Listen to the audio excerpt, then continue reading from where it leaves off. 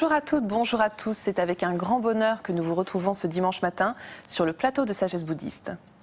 Nous consacrons aujourd'hui cette émission à la méditation telle qu'elle est pratiquée dans le bouddhisme zen, notamment dans la tradition du Zen Soto. Quelle est alors son origine? De quelle manière? Celle-ci a-t-elle été diffusée en Chine et plus tard en Occident? Comment la pratique-t-on concrètement aujourd'hui? Autant de questions que nous allons poser sans plus attendre à notre invité, Roland Reich. Roland Reich, bonjour. Bonjour. Vous pratiquez le bouddhisme depuis une quarantaine d'années dans la tradition Zen Soto. Vous êtes responsable du temple zen de Nice et vous enseignez également au monastère zen de la Gendronnière ainsi qu'un peu partout euh, en France et en Europe. Merci d'être avec nous aujourd'hui. Merci de m'inviter. Alors, est-ce que tout d'abord, vous pourriez nous rappeler quelle est l'origine de la méditation dans le bouddhisme zen, Roland Reich? Oui, alors l'origine de la méditation, c'est la méditation du Bouddha, la méditation à travers laquelle Shakyamuni est devenu un éveillé, un Bouddha. Euh, il raconte lui-même dans un sutra euh, comment ça s'est passé? Euh, il, explique que dans un premier temps, assis dans la posture donc de méditation, il a abandonné tout ce qui était de l'ordre des souillures du mental, c'est-à-dire de l'avidité, de la haine, des émotions négatives. Euh, et euh, tout en, par contre, en conservant une certaine activité mentale, une certaine réflexion. Puis, euh, dans, un deuxième, dans une deuxième étape, il a abandonné toute forme de réflexion et toute forme d'activité mentale consciente et volontaire, mais il a gardé un état de joie, de bonheur, de sérénité. Puis ensuite, il a laissé tomber aussi la joie, qui est une émotion encore assez vive. Il ne restait plus que le bonheur. Et enfin, ce quatrième dhyana, parce qu'on appelle ces états de méditation les états de dhyana, quatrième dhyana, il a également abandonné le bonheur. Mhm. Il, avait, il n'éprouvait à ce moment-là plus ni bonheur ni souffrance. Il était dans un état d'équanimité qui lui a permis euh, à ce moment-là de s'éveiller. Et c'est là qu'il a découvert les grands principes qui, ont constitué ensuite la base du bouddhisme, c'est-à-dire la loi du karma, euh, les quatre nobles vérités, et dans ces quatre nobles vérités, il a enseigné, il y a toute une partie des quatre nobles vérités qui est consacrée à la méditation. Mhm. Par la suite, il a particulièrement développé la pratique de l'attention dans un autre sutra. Alors, c'est dans le sutra de Satipatthana, cette pratique de l'attention, c'est d'abord l'attention au corps, mhm. être toujours tout à fait présent dans son corps, dans sa respiration, euh, en même temps réaliser qu'il euh, y a bien un corps qui respire, mais il n'y a pas d'ego, il n'y a pas de moi substantiel dans ce processus de respiration. Euh, ensuite, il a, il, a, enseigné beaucoup à être attentif à ses émotions et à ses sensations surtout, euh, de plaisir, de déplaisir. Euh, aussi d'être attentif à l'état d'esprit dans lequel on est. Et ça, l'avantage, c'est qu'on peut le pratiquer partout. Ça n'a pas mhm. besoin nécessairement d'être pratiqué dans la méditation assise. Par exemple, dans quel état d'esprit on est, ça dépend. Est-ce qu'on est concentré ou est-ce qu'on est distrait? Est-ce qu'on euh, euh, on est vraiment présent ou pas? Euh, Eh bien, ça, on peut le réaliser un peu partout. Et puis ensuite, il a, il, a, le quatrième objet d'attention ou d'observation, c'est ce qu'il appelait les objets mentaux. Mm-hmm. Et dans les objets mentaux, il y a toutes les pensées relatives au dharma, notamment les quatre nobles vérités, mais aussi euh, les empêchements, les illusions. Euh, voilà. Mm. Et donc, euh, donc, dans la méditation bouddhiste, à partir de ces deux grands enseignements, on peut dire qu'il y a à la fois une pratique qui consiste à constamment lâcher prise avec tout objet, mm-hmm. qui est la pratique des dhyānas, qui a donné lieu au mot chan en chinois et zen en japonais, que nous mm-hmm. avons gardé maintenant. Mm-hmm.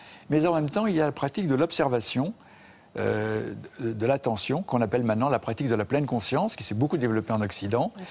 Et, ce sont les deux volets qu'on retrouvera dans toute l'histoire de la méditation bouddhiste. Mais alors justement, est-ce que ça fait aussi partie de la méditation telle qu'elle a été pratiquée par Bodhidharma et qui a donné naissance à son école en Chine? Oui, alors euh, effectivement, Bodhidharma est arrivé en Chine à une époque où les Chinois avaient étudié le, le bouddhisme à travers les sutras. Et il a enseigné, lui, il a laissé un écrit qu'on appelle le, traité de Bodhidharma, dans, lequel euh, il, enseignait qu'il y avait deux, voies d'accès euh, à l'enseignement du Bouddha. Euh, l'accès par le principe, qui revient en fait à étudier les sutras, mhm. et puis l'accès par la pratique. Et l'accès par le principe consiste finalement, à, à développer une confiance profonde dans la nature de Bouddha, la nature de l'éveil de chacun et donc à être encouragé à pratiquer la méditation comme une sorte de célébration de cet éveil qui est à la base même de l'existence humaine. Mm-hmm. Et et ensuite, l'accès par la pratique, c'est un enseignement dans lequel il recommande d'être dans l'acceptation du euh, karma, dans l'acceptation de ce qui nous arrive d'une manière euh, inconditionnelle, parce que ça résulte d'un karma passé, et le fait de l'accepter nous procure une grande paix de l'esprit, euh, et donc il n'y a pas lieu de se révolter, mais au contraire d'être en harmonie avec ce qui mmh. nous arrive. Mmh. Mais c'est surtout dans ces dialogues que Bodhidharma, que Bodhidharma a, a enseigné vraiment, je crois que l'essence de sa méditation. Le dialogue qu'il a eu avec l'empereur, quand il a dit finalement, qu'est-ce que la sainte vérité du bouddhisme? C'est un esprit vaste, euh, un esprit euh, vide mm-hmm. et, euh, ce qu'on appelait, qu'il a appelé Kakunen Musho, un esprit au-delà de la sainteté. Mhm, effectivement, c'est assez révélateur comme. Et alors, ensuite, il y a aussi un dialogue qu'il a eu avec son, premier disciple, qui était Eka, lequel, quand il l'a rencontré pour la première fois, était dans une grande souffrance morale et spirituelle. Mhm, mhm. Et demandait que Bodhidharma l'aide à apaiser son esprit. Et là, Bodhidharma lui a dit Mais montrez-moi votre esprit. Et Eka a répondu Mon esprit, je l'ai cherché longtemps, il est insaisissable. Et mhm. Bodhidharma lui a répondu alors, il est déjà apaisé. Mhm. Et euh, ça a été le point de départ de la pratique du zen au sens d'une pratique de méditation dans laquelle on ne cherche pas à saisir l'esprit, car l'esprit au fond est insaisissable, et s'il est insaisissable, c'est parce qu'il est vaste. Il est comme le vaste ciel. Mhm, et si on, s'harmonise avec cette vastitude de l'esprit, la racine de toutes les souffrances étranger. Mhm. Alors on va en venir euh, assez vite hein, sur la manière dont on peut pratiquer la, méditation aujourd'hui en Occident, mais j'aimerais que l'on dise avant cela un mot sur Maître Dogen et la façon dont lui a transmis la méditation, car euh, c'est un personnage essentiel oui, dans, cette pratique. Dogen lui-même a hérité de l'enseignement de Maître Wanchi, qu'on appelait l'enseignement de l'illumination silencieuse, et euh, qui s'oppose qui est, un, peu différente du zen, la méditation Rinzai, en ce sens que c'est une méditation sans objet. Mhm. Donc sans le support de mantra, sans le support d'image, sans le support de pensée ou de koan. Simplement, et ça Dogen l'a repris euh, complètement, euh, il appelait ça shikantaza, seulement s'asseoir, dans un état de complet lâcher-prise, de dépouillement du corps et d'esprit par rapport à toutes nos formes d'attachement. Pourquoi? Parce que comme, dès l'origine, comme avec Bodhidharma en particulier, il y a cette confiance fondamentale dans le fait qu'au fond de chaque être, il y a cette nature de Bouddha. Nous sommes cette nature de Bouddha. Et donc, il y a au fond rien à faire. Mhm. Il y a à être simplement assis. Dès que l'on veut faire quelque chose, eh bien, c'est l'ego qui reprend, même si c'est un ego spirituel et qui veut bien faire. Mais on est de nouveau dans une dualité, dans un volontarisme. On poursuit un but. Et finalement, dès qu'on poursuit un but, on est loin de la paix de l'esprit et loin de l'éveil, parce que le but est forcément quelque chose de limité, qui correspond à une représentation que l'on se fait de ce que devrait être l'éveil, le satori, le nirvana. Et du coup, à vouloir l'obtenir, on s'en écarte. Mmh. Donc vraiment, Dogen enseignait euh, vraiment la pratique de seulement s'asseoir euh, et, euh, et de retrouver dans cette simple assise l'unité profonde du corps et de l'esprit, mais aussi de soi-même avec les autres de soi-même avec Bouddha, de soi-même avec la nature de Bouddha, et surtout de l'unité profonde, non seulement dans la méditation, mais dans toutes nos activités quotidiennes, faire que chaque chose que l'on fait dans au quotidien est une forme de méditation, c'est-à-dire une pratique dans laquelle on s'absorbe complètement dans ce que nous faisons, avec une totale concentration, ce qui implique le lâcher-prise avec toute notre activité mentale et nos pensées, et en même temps avec une perception de notre communion et unité avec tous les êtres, et donc une dédicace de notre activité quotidienne comme la dédicace d'ailleurs de la méditation, pour le bien-être de tous les êtres. Alors on va faire un bond dans le temps, puisque maintenant on va essayer de voir un petit peu ce qui s'est passé en Europe, donc dans les années 70 avec euh, Maître Deshimaru, hein, qui a apporté la méditation zen.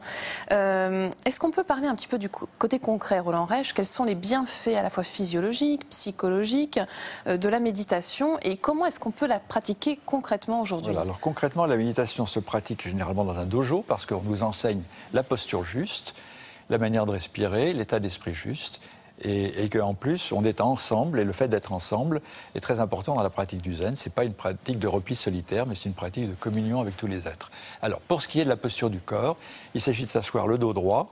On pourrait se mettre sur une chaise. Normalement, s'assoit les jambes croisées sur un coussin. Le menton rentré, le corps est tiré entre ciel et terre, donc le dos bien vertical. Euh, on euh, se concentre sur la respiration et on apprend à euh, lâcher prise avec toutes les pensées qui surgissent. Donc, on n'est pas en train d'essayer de résoudre un problème, de, se concentrer sur une vérité sainte du bouddhisme, euh, de, saisir ce qu'il en est de la nature de Bouddha ou de la nature de l'éveil. On accueille tous les phénomènes qui surgissent, on prend conscience de leur impermanence, de leur vacuité, ce qui nous encourage à lâcher prise. On réalise que finalement, notre petit moi est lui aussi insaisissable, il est constamment en train de se transformer en fonction de ses objets d'attachement. On lâche prise avec son propre ego et on se retrouve ainsi dans un état de complète vacuité, disponibilité, accueil de ce qui se présente. Et ça, on peut continuer à le pratiquer dans la vie quotidienne. Mhm. Et ça a des valeurs euh, extrêmement importantes, notamment pour calmer le stress, parce que justement, on apprend à être parfaitement ici et maintenant, sans être obsédé par le but de l'action en cours. On apprend à être sans anxiété parce que euh, dans l'instant présent, toutes nos peurs dont on craint qu'elles se réalisent dans le futur, elles n'ont pas lieu d'être ici et maintenant. Donc on retrouve une paix de l'esprit fondamentale. Aussi, on se libère de tous nos conditionnements du passé parce qu'on on se rend compte que finalement, il y a des tas de choses qui nous obsèdent, mais qui sont liées à des conditionnements de notre enfance, de notre histoire, ou même de ce qui s'est passé la veille. Et revenir à ici et maintenant, c'est revenir d'une manière certaine à une grande paix de l'esprit, à une grande disponibilité et à un éveil à la réalité, parce que la réalité n'est que dans l'ici et maintenant. Tout le reste, ce sont des, c'est virtuel, ce sont des fabrications mentales et on ne vit pas vraiment lorsqu'on n'est pas dans l'instant présent. Mhm. Alors justement, pour conclure, j'aimerais juste que vous nous disiez un petit peu comment tenter de prolonger ces bienfaits de la méditation dans notre vie quotidienne, ce qui n'est pas toujours évident. Hein. Voilà, alors euh, dans la vie quotidienne, il y a beaucoup trop d'informations, beaucoup trop de choses euh, qui, sollicitent le mental. On est trop dans sa tête et pas assez dans son corps. Donc je dirais que la première chose à faire, euh, si on pouvait, déposer votre tête et soyez dans votre corps.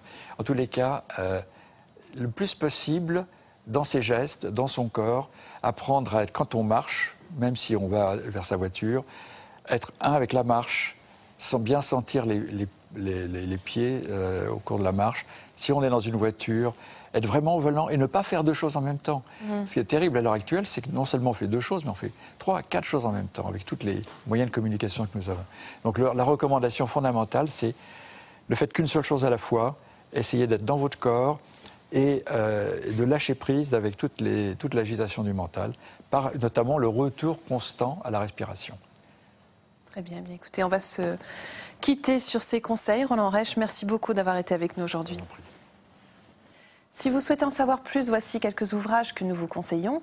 Tout d'abord, deux livres de notre invité Roland Reich, publiés aux éditions Le Relier, sur l'enseignement de Maître Wanchi, Le chant de la vacuité et l'illumination silencieuse et de Tezen Deshimaru, publié dans la collection Spiritualité vivante chez Albin Michel, Zen et vie quotidienne, la pratique de la concentration.